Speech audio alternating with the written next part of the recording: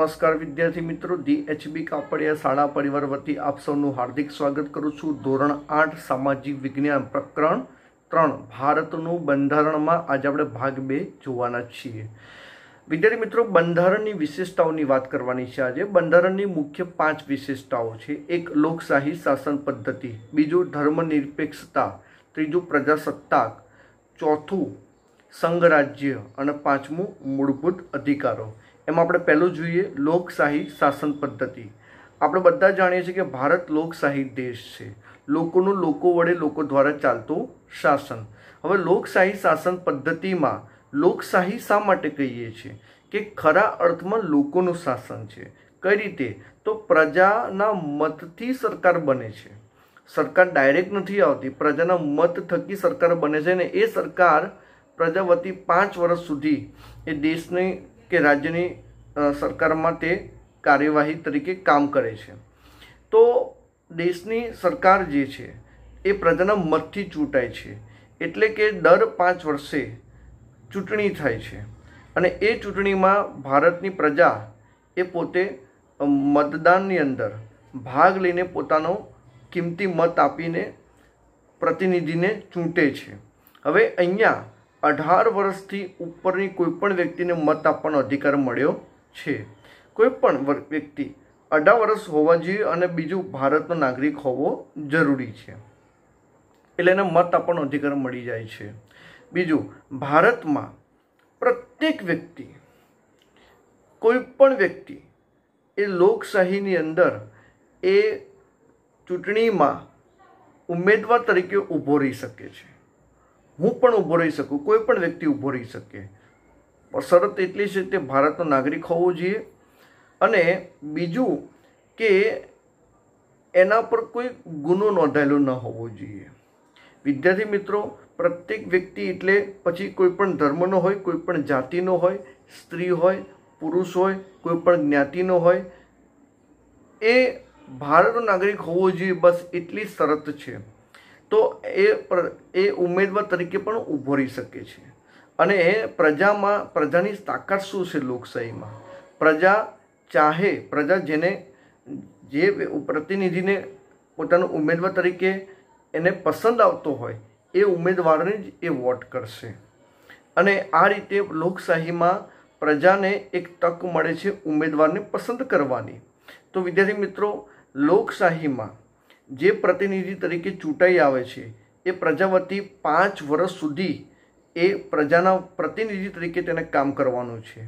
લોકશાહીમાં વાણી સ્વતંત્રતા, વ્યક્તિ સ્વતંત્રતા, વિચારોની સ્વતંત્રતા, અખબારી સ્વતંત્રતા અને ધર્મની સ્વતંત્રતા પ્રાપ્ત થયેલી છે. તો આ લોકશાહીની ખરા અર્થમાં તાકાત છે અને વધુ વિગતે આપણે પીપીટી દ્વારા જોઈશું. લોકશાહી શાસન પદ્ધતિ ભારતે લોકશાહી શાસન પદ્ધતિ અપનાવી છે. આપણા દેશમાં દર પાંચ વર્ષે સામાન્ય ચૂંટણીઓ થાય છે. એમાં અઢાર વર્ષથી ઉપરના મતદારો મત આપે છે.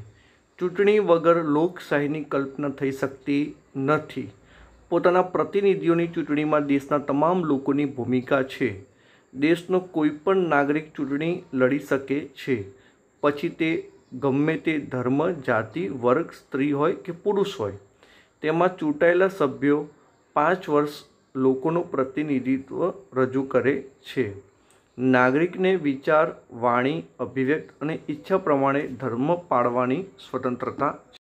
હવે બંધારણની મુખ્ય વિશેષતામાં બીજા નંબરનો મુદ્દો, ધર્મનિરપેક્ષતા. ધર્મનિરપેક્ષતા કહો કે બિનસાંપ્રદાયિક કહો બંને એક જ છે. તો વિદ્યાર્થી મિત્રો, ભારત એક ધર્મનિરપેક્ષ બિનસાંપ્રદાયિક પ્રજાસત્તાક દેશ છે. બિન સાંપ્રદાયિક એટલે શું?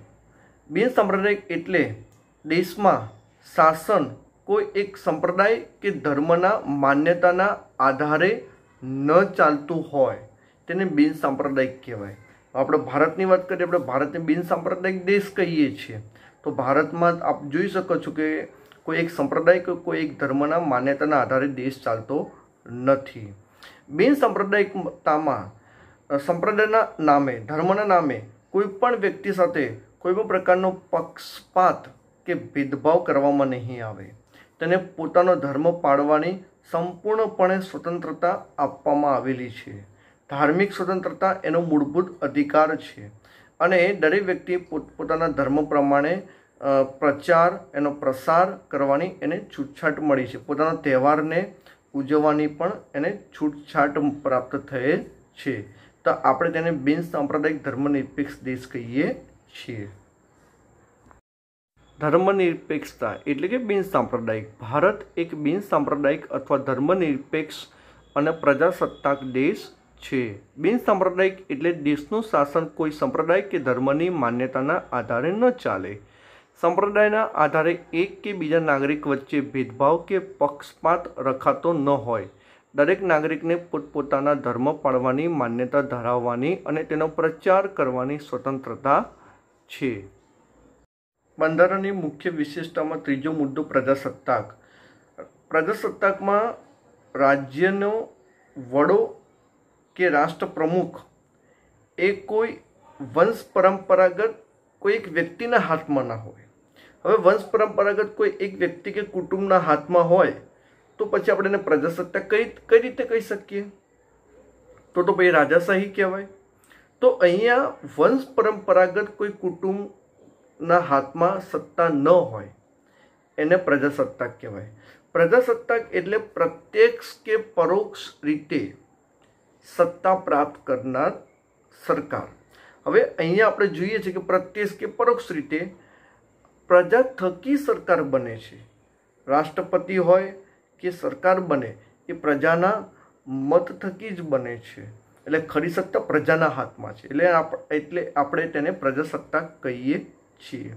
હવે અહીંયા રાજ્યના તમામ હોદ્દાઓ એ પ્રજાના મત થકી જે બંધારણના જે નિયમો નક્કી કરે છે, એ પ્રમાણે એ ભોગવવાના હોય છે. રાજ્યતંત્રની તમામ વ્યવસ્થાઓ પ્રજાને ધ્યાનમાં રાખીને, પ્રજાના હિત અને કલ્યાણને રક્ષણ ધ્યાનમાં રાખીને તૈયાર કરવામાં આવે છે.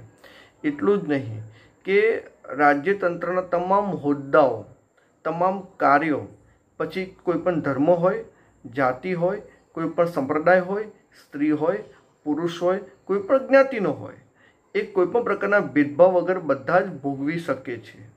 અને કોઈ એક વ્યક્તિ, કોઈ એક વ્યક્તિ કે કોઈ ધર્મના નામે એ દેશ ન ચાલતો હોય.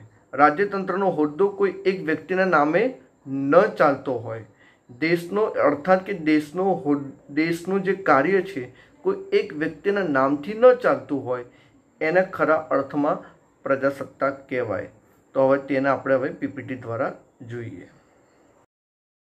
પ્રજાસત્તાક. પ્રજાસત્તાક એટલે રાજ્યના વડા રાષ્ટ્રપ્રમુખ વંશ પરંપરાગત અમુક અમુક કુટુંબની વ્યક્તિ ન હોય. તેઓ લોકો દ્વારા પ્રત્યક્ષ કે પરોક્ષ રીતે ચૂંટાયેલ હોય. લોકો પાસેથી પ્રત્યક્ષ કે પરોક્ષ રીતે સત્તા પ્રાપ્ત કરનાર સરકાર. એટલે કે પ્રજાસત્તાક. આપણી રાજ્ય વ્યવસ્થામાં આપણે પ્રજાસત્તાક લોકશાહી સ્વીકારેલ છે. એટલે કે આપણે ત્યાં રાજ્ય વ્યવસ્થા વિશિષ્ટ હકો ધરાવતા કોઈ વર્ગના હાથમાં નથી, પરંતુ રાજ્યતંત્રના તમામ હોદ્દાઓ, ધર્મ, જાતિ કે સ્ત્રી પુરુષના કોઈ પણ ભેદભાવ વગર કોઈપણ નાગરિક માટે ખુલ્લા રહે છે. ઓકે, વિદ્યાર્થી મિત્રો, તો આપણે અહીંયા બંધારણની મુખ્ય વિશેષતાઓમાં ત્રણ મુદ્દા આપણે જોયા. હવે બીજા બે મુદ્દા આપણે નેક્સ્ટ ભાગમાં આપણે જોઈશું. વિદ્યાર્થી મિત્રો, ગૃહ કાર્ય. જે તમારે ઘરે બેઠા નોટબુકમાં કરવાનું રહેશે સારા અક્ષર કાઢીને. અહીંયા જે કાંઈ પણ પ્રશ્નો છે, એ પ્રશ્નો પાઠ્યપુસ્તકમાં જે મુદ્દા છે, જે મેં ભણાવેલું છે, જે મેં વાત તમને કરી છે, જે સમજાવ્યું છે, એમાંથી જ પ્રશ્નો કાઢ્યા છે. એટલે તમને જવાબ ચોક્કસપણે જ પ્રાપ્ત થશે. તો આપ ગૃહ કાર્ય સમયસર સારા અક્ષરે સારી રીતે સારી રીતે વિચારીને લખીને પૂરું કરજો. બરાબર છે? તો અહીંયા જે કંઈ ગૃહકાર્યના પ્રશ્નો આપેલા છે, એ પ્રશ્નોના જવાબ આપ સૌ સારી રીતે લખશો એ આશા સાથે. નમસ્કાર. જય હિન્દ.